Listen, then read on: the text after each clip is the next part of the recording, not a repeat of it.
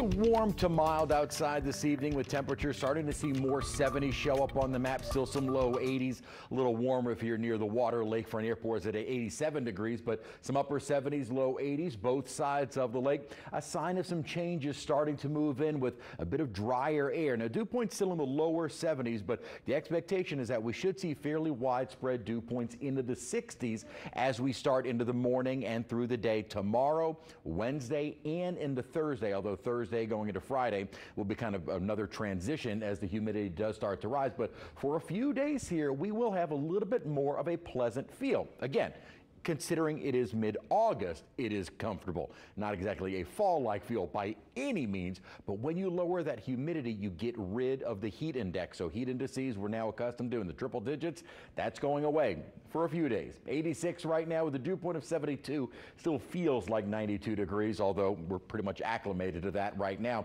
And this is the reason why we've got a deep upper trough that is bringing in drier air, clearing skies, a lot of sunshine really for mid-August.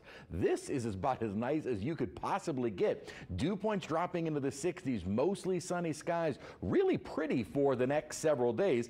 Uh, this is why other parts of the country can enjoy the summer when you get rid of the humidity and it does look like those dew points will be on the lower side for the next several days with kind of that moisture coming back in as we head toward the end of the week and weekend. Also toward the end of the week and weekend, the upper trough starts to lift away. A little piece of it though is going to get left over. This little upper low is going to move our way and with that added instability and the increasing moisture, that should be enough to help trigger a few more showers and thunderstorms around as we approach the weekend and continuing into next week. Wish we could kind of flip flop it here, get the rain and mugginess out of the way during the week and have a pretty weekend.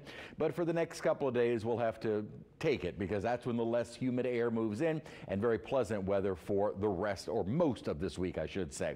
The 10 o'clock advisory, it is still a Hurricane Ernesto as it kind of clears Newfoundland. It will be becoming extra tropical as it moves away. In other words, it no longer gets its energy from the warm ocean temperatures. It's more of an atmospheric process and then no longer a tropical system as it continues out into the North Atlantic where it will eventually dissipate. And the good news is as Ernesto comes to an end, looking wide scale on our model here through the end of the week and weekend, nothing really showing up. So the next seven days should remain fairly quiet. It's kind of beyond that that models have been sniffing out something trying to form toward the end of August, early September out in the main development region in the Atlantic. Not a big surprise as we're now getting toward the peak of the season. We would expect to see more activity develop out in the Atlantic basin. But as of right now, even the long range models keeping us quiet. That's kind of going beyond 10 days.